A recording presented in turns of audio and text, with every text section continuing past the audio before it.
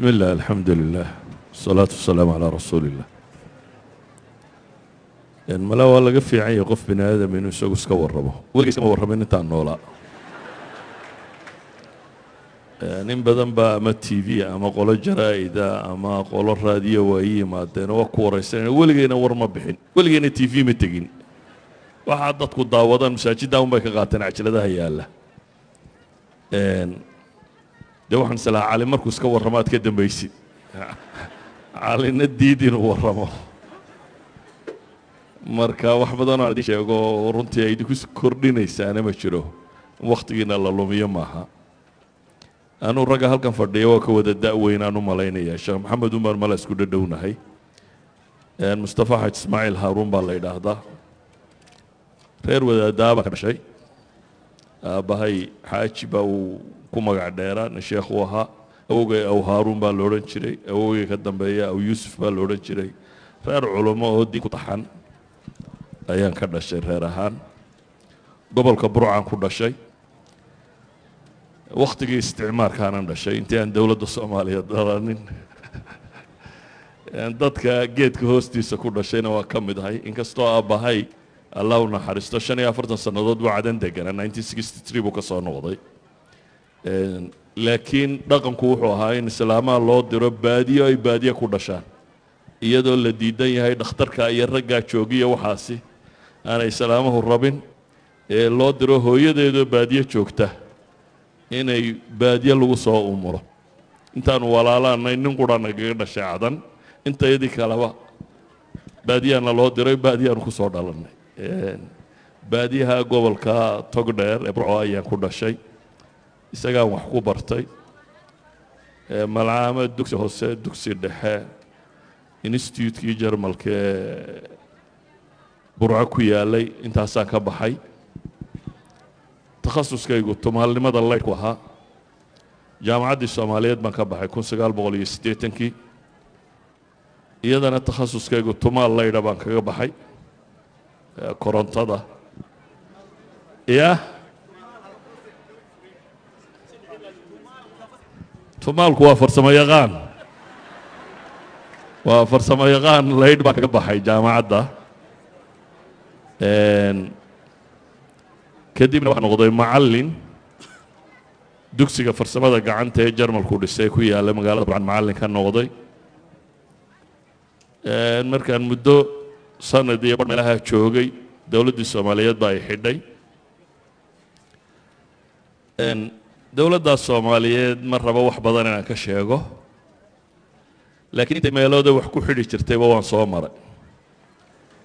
Station police waa laygu xidhay n s s waa laygu xidhay xero gulwado waa laygu xidhay xero military waa laygu xidhay dhabarjabin waa laygu xidhay jeel waa laygu xidhay. Weligeyna maxkamad layma taagin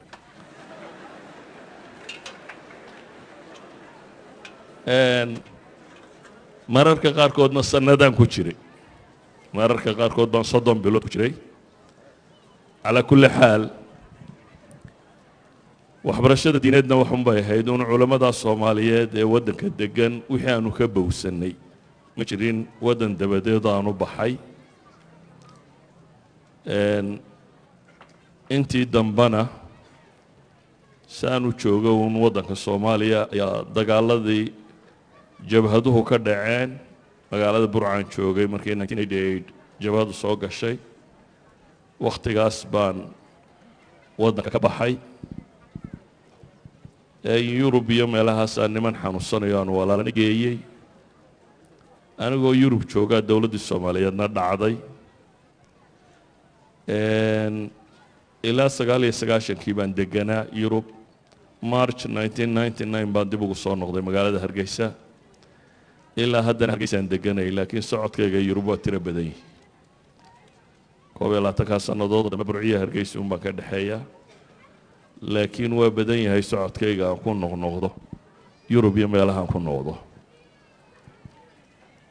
Qaab nololeedkii soomaaliya soomaaliya waagii horena ee lixdanaadkiina democracy bay ahayd democracy qabiilkan uun ku salaysan haddaba aragtaan. Waxaan xasuustaa iyadoo meelaha markii doorashooyinkii dhacayeen. Dadku intay waddada maraan baa waxaa la jiray dhulka yaale ilaahay baa leh ka sokowna reer hebel baa leh saasa cirka yaale cirka iyo dhulkaa la sheegan jiray. Heballada jiray. Dowladdii kacaanka ee soomaaliyeed markay qabsatayna scientific socialism baa la qaatay. Scientific socialismkuna wuxuu noqday diin la dirir. Annaguna dhallinyaro uun markaa waxoogaa diinta ka garatay. Oo sistamkaa ku qanacsanayne hortaagan baanu ahayn. Ma jirin cilmigu sidanuu hadda u faafsan yahay oo dowladdii soomaaliyeed waxay lahayd censorship. Aan ogolayn kitaab aan dowladdu ogolaanin waddanka ma soo geli jirin. Waddankuna sidan uu iminka isaga isagama furnayn diyaaradaha dibadda ka yimaada only xamaroo qura ka soo degi jirtay lama ogolayn waddanka inta kale. Diyaarad dabadeed inay ka soo degto. Isaa daraaddeed wax kasta oo waddanka soo gala censorship faafreeb wax la yidhahdo soo mari jiray.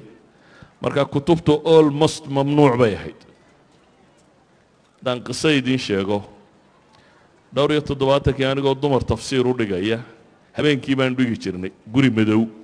Habeenku markuu dam noqdo ayaad guri tegaysaa dabeetana halkaasaad waxoogaa dhowr dumaroo la soo ururiyey.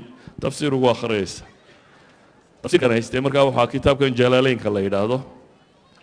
Jalaaleynadii waagaa dadku haysteen iskuma rakibnayn. Waxay ahaan jireen dhowr xaashiyoodba way isku jiri jireen. Dabeetana gal sare buu leeya ku daboolan. Habeenba labada xaashiyood aad kala baxaysaa ila furfuran yahay. Labadii baan la soo baxay habeenkii anigoo meel la sii dhukusaya ayaa dabayliyey timo labadiina dabayshii baa qaadatay yacni kutub ma taalo badani aad bay cidhiidhi u ahayd. Culimo waddanka waa deganayd laakiin lama ogolayn inay wax dhigaan ama wax akhriyaan bale waxaa laga yaabaa haddaad nin dhallinyaro ah tahay inuu kaa boqo waayo dowladda ku xidhaysa inuu kaa fogaado. Nin inuu tafsiir caama ama akhriyi jiray weliba soomaaliya waagaasi tafsiirka bisha ramadaan unbaa inta badan la akhriyi jiray. Waktiyada kale kutubta fiqiga ama naxwa waxaasaa la akhriyi jiray. Calaa kulli xaal waxaan uga danleeyayaan arrintan u tilmaamaya waxa weeyaan jaaniska idinku haysataan ma oolin waaga. Jaaniskana in kutubtu bahalka inaad jeeb ku sidataan ku jirto meel kasta lagu iibinayo ayi kitaab aad u baahata aada helayso. Electronically aada shaamilo soo download garaynayso oo dhowr iyo toban kun oo majalladay ku jiraan yacni jaaniska sida tan ee qofku research samayn kara wax baxdii kare wax baadhi karaa waagaa ma oolin. Laakiin waxa yaalay dad committed oo dadaalaya. Dad dadaalaya mala daacadnimana ku jirto. Oo inay ilaahay waxan ugu dhowaadaan ay ku jirto. Marka anigu qadiyadda aan jecelun inaan idinku celiya waxa weeyaan war nicmada haysataan ee ku saabsiisan diintu sida ay maanta u fududdahay inuu qofku barto. May jirin may oolin ee waxay ahayd wax aada u cidhiidhiya sidaad u xasilisaana ay inta badan ku xidhnaanayso sida aad wax u akhrido. Xataa iyadoo wax akhriskaagu fiican yahayna aanad helaynin wixii aada akhriyi lahayd uu cidhiidhi kugu gelayo intan dambe na dee meelaha un soomaalidu joogto baan wax ka sheeg sheegi jirnay. Anigu macallin baan ahaan jiray saa daraaddeed sheekh maan noqonin weli mana gaadhin. Macallinkuna deris loo diro buu soo diyaariyaa oo uu deedhigaa waana laga yaabaa wakti aanay culammada soomaaliyeed haysanin qalabkan technology-ga ah inaan un yurub ka hortegay oo wax akhriyo dad waxu akhriyay waxaan xasuustaa cajaladahan ugu badane hore ee nintiyadii dadku dhegaysan jireen maqaaxaan ku akhriyi jiray waa soomaaliyeed oo norway maqaaxid somali welfare la yidhaahdo somali welfare organization. ayaan ku yihi labadii toddobaad maalin wax maydiin akhriyaayo markaasay idhaahdeen haa niman carabaha ka tegay oo aan diinta isku fiicnayn baa ku badna markaasaan bilaabay inaan muxaadaraad xawla aliimaan arkaan aliimaan iyo xawla alxadaara alislaamiya inaan ka warramo. Nin dhallinyaraa baan ah hadal badan. Laba saac iyo dheeraad baan maalin ilan toddobaad afar iyo tobankii cashaan mar helaya. Marka waxay noqotay markaa inaan laba saac iyo dheeraad hadlo. Dadka markaa cajaladahaas baa soo gaadho markaas la yidhi malaa ninkana sheekh weyn ah sheekh weynna marna ma noqonin laakiin uun fursad aanay jirin anigu in wax la duubo maan rabin. Waxaan xasuustaa waxba ha duubinaan ku idhi nin dhallinyaraa baa intuu kamarad iska soo qaatay bu wuxuu yihi sheekh ama fadhiyo wax akhri ama iska timi xagga dambe ula fadhiista markaa waxaan kala doortay inaan wax akhriyo iyo iyo inaan iska tago. Markaasaan iska akhriyey. Dariskii dambaan imi maalintii dambe cajaladu sidan iminka ay u badayn uma badnayne v h s bay ahaan jireen v h s kana warshad baa badin jirtay keliya intay cajaladii qaadeen bay warshad geeyeen dabeetana dhowr boqoloo cajiladood bay ka dhigeen iyagoo meesha ku iibinayaan ugu imi in cabdillaahi xuseen kaahiye la yidhaahda iyo inaan loorane la yidhaahda iyo axmed baaruud iyo iyagoo iibinayaan waar waa sidee dee waxaana iibinaysaa waxay dhahayn sheekh masaajidkaan kirada kaga bixinayna markaasaan iska aamusoo siri de masaajidkaan kirada alagaga bixiyo marka waxaan dadku duubayna anigu kuma talagelina inaan duubo. T v-na weli ma tegin raadiona weli ma tegin.